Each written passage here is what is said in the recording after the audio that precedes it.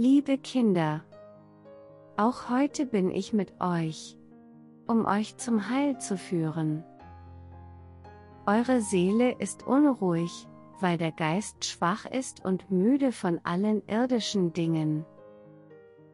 Ihr, liebe Kinder, betet zum Heiligen Geist, dass er euch verwandelt und mit seiner Kraft des Glaubens und der Hoffnung erfüllt, damit ihr in diesem Kampf gegen das Böse fest seid. Ich bin mit euch und halte Fürsprache vor meinem Sohn Jesus für euch. Danke, dass ihr meinem Ruf gefolgt seid.